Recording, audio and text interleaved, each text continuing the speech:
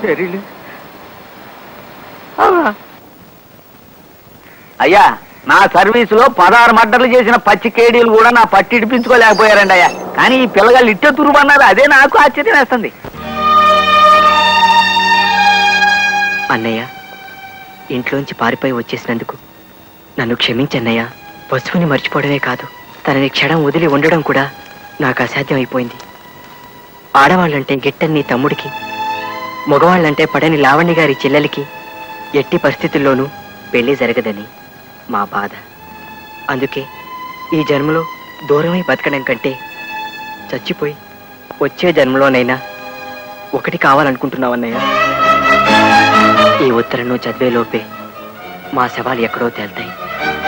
దయచేసి మా శవాల కోసం నువ్వు వెతికించొద్దన్నయ్యా. నా శవాన్ని చూసి. నువ్వు తట్టుకోలేవన్న భయంతో చచ్చిపోవడం కోసం చాలా దూరం పారిపోయావు. అన్నవైనా నన్ను తండ్రిలా పెంచిన నీకు ఇవే నా చివరి నమస్కారాలు.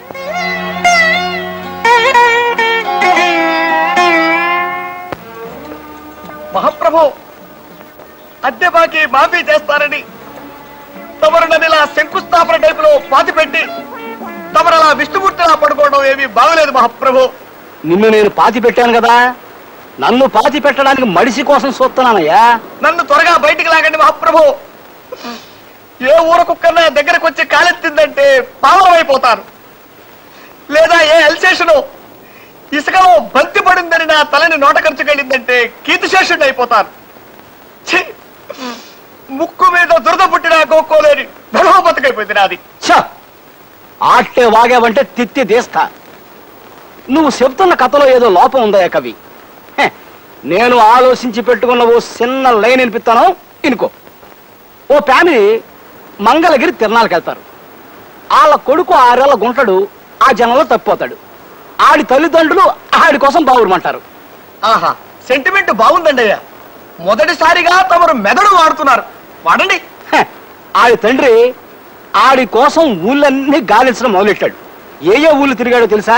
హైదరాబాదు అదిలాబాదు సికిందరాబాదు అహమ్మదాబాదు ఫకీరాబాదు అలహాబాదు ఫరీదాబాదు ఔరంగాబాదు ధనబాదు సింధుబాదు ముస్తాబాదు పైసలాబాదు గజియాబాదు అబ్దుల్లాబాదు జఫారాబాదు ఉస్సేనుబాదు. నా బొంద బాదు నా శ్రాద్ధం బాదు నా పిండాకోడు బాదు ఆహా, ఆటన్నిటితో కలిపి మొత్తం ఇరవై ఒక్క బాదులు ఎతికాడు. శివరాఖరికి ఎవడో ఆ గుంటడు బెజవాడలో ఉన్నాడని చెప్తే ఆ ఊరు వెళ్ళాడు బెజవాడలో గవర్నరు పేట లబ్బిపేట పున్నమ్మ తోట భాస్కర్రావు పేట సింగు నగరం ప్రజాశక్తి నగరం అయోధ్య నగరం ముత్యాలంపాడు గుణదల గాంధీ నగరం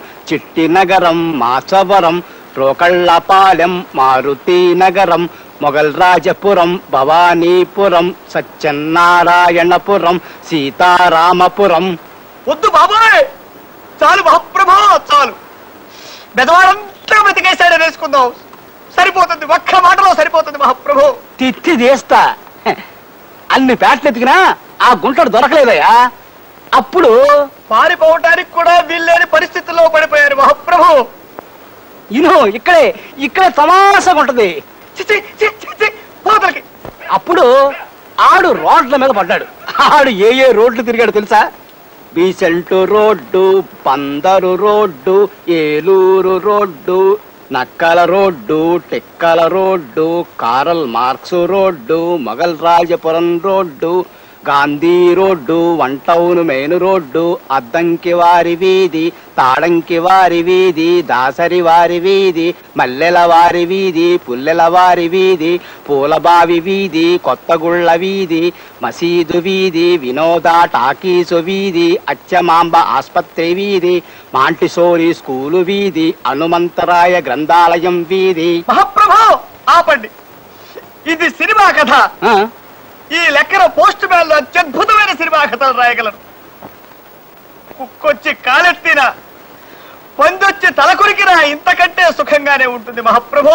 ఆ నవ్వు నీ పెదవుల మీద పర్మనెంట్గా నిలిచిపోయే రోజు వచ్చిందమ్మా. ఈ ఒక్క రాత్రే నీకు చీకటి. తెల్లారేసరికి నీ జీవితంలోకి కళ్ళు మిరుమిట్లు కొలిపే వెలుగు వస్తుంది. ఆ పూచి నాది. జరిగింది ఇది అని నేను చెప్పేసరికి రామారావుకి దిమ్మ తిరిగినట్టయింది లావణ్య ఆ, కళ్ళ మీద నీళ్ళు పెట్టేస్తున్నాడు అనుకో ఫోన్లేమ్మా మా ఇంట్లో చేరాక మీ ఇద్దరి మధ్య సక్కత కుదిరిందంటే నాకు చాలా ఆనందంగా ఉంది. ఇందమ్మా ఈ స్వీట్ కూడా తిను. వద్దండి. అన్నయ్య గారు మా వసు కృష్ణ పెళ్ళి చేసుకుంటే తిరిగి రావద్దని వాళ్ళకి స్ట్రాంగ్గా చెప్పించాను కదా వాళ్ళు ఆ పని చూసుకుని రేపో ఎల్లుండో తిరిగి వస్తారు. నువ్వేం భయపడకు. నీకు ఆ సీట్ వద్దా? ఇది కూడా వద్దు కదా? చాలా థ్యాంక్స్ అయితే తొందరలో ఇలా దంపతి భోజనాల్లో నాలుగు జంటలు ఉంటాయన్నమాట. మన రెండు జంటలు కృష్ణ వసు లావణ్య రామారావు గారుల జంటలు. నాలుగా లక్ష్మి గారు ఐదు. త్వరలోనే మా జ్యోతిని కైలాసానికి పెళ్ళి జరిపించేస్తున్నాను. చాలే ఊరుకోండి. మన జ్యోతికి ఆ ఉద్యోగం సద్యోగం లేని బికారావుని చేసుకునే కర్మ ఏమిటి?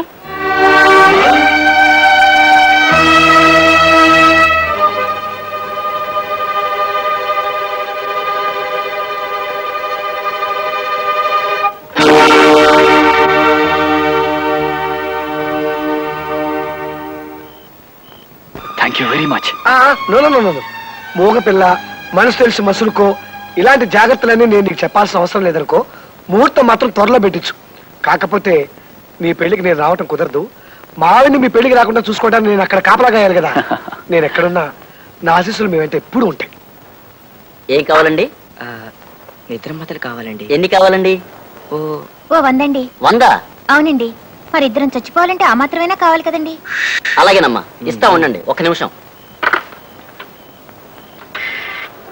అమ్మో పోలీసుకి ఫోన్ చేస్తాడు ఇది ఊరు చివరి? మనం ఈ బావిలోకి దూకేస్తే వారం రోజుల దాకా మన గురించి ఎవ్వరికీ తెలియదు. అయితే దూకేద్దామా? ఓకే కమా రెడీయా. వన్ టూ ఆగు ఫ్రీ అనుకో. ఏ? ఇందులో కప్పులున్నాయి. తెల్లవారితే పంచమి శుక్రవారం స్వాతి నక్షత్రం. ఉదయం తొమ్మిది గంటలకి దివ్యమైన ముహూర్తం ఉంది నాయన. బాబు! రండి రండి ఆసనాలు వేసుకుందాం. రండి రండి రండి. ఆహా తమకెంత పేరు ప్రతిష్టలు ఉన్నాయి మహాప్రభు? తిత్తి తీస్తా. నువ్వు వాసన కవి ఇప్పుడు కథ చెప్పుకో వింటాను. నేను చెప్పను. ఏ? కథ వెళ్ళడం మానేసా కాకా పెట్టుకుంటా? కాక హోటల దాని మీద మన కాడు గొప్ప కథ ఉంది. చెబుతా ఇనుకో. తెర వేగంగాని ఈరో ఓ కాకా హోటల్ పెట్టాలని చూస్తాడు. దానికోసం బజార్ వెళ్ళి అదో! బజార్ వెళ్ళి కుంపటి బొగ్గులు కిరసనాయిలు గ్లాసులు చెంచాలు అంటూ లిఖిన ఒక కడుపు దేవుతుంది నేను వస్తా. కవే నువ్వు నా కథ వినకపోతే నీ ఇంటి అద్దె నెలకి రెండు లక్షలు చేస్తా. ఇలా లాభం లేదురా పింజారి విధవ. నీ శవాన్ని నిలబెట్టి తగలయ్యా. నీ పిండం పిచ్చుకులెత్తుకుపోను.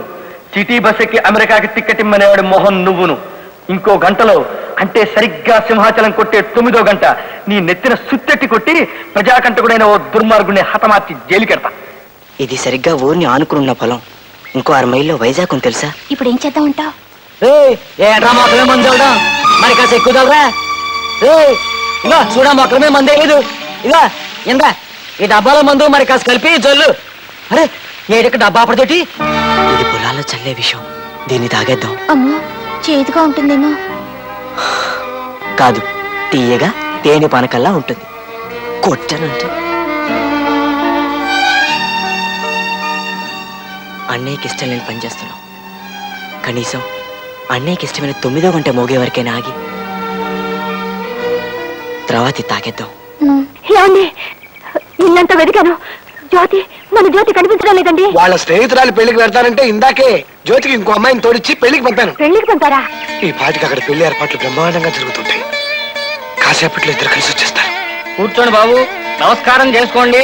ఓం. వద్దే వద్దు వద్దు వద్దు. ఏమిటి? మాట్లాడుతుంటే మధ్యలోనే పారిపోయి వచ్చేసావు? అంత ధైర్యం వచ్చిందా నీకు? ఎన్నాళ్ళు నువ్వెంత తోసం చెప్పిన పడున్నానే. ఇక లాభం లేదు. ఇట్లా ఏం తోచనప్పుడల్లా నేను రౌడీల్ని కొట్టినట్టు నువ్వు నన్ను తిడతా ఉంటే తింటా పడుండలేను. రెచ్చిపోతా. ఇంకో గంటాగు మా గురువు గారికి ఇష్టమైన తొమ్మిదో గంట సింహాచలం గాడు కొట్టగానే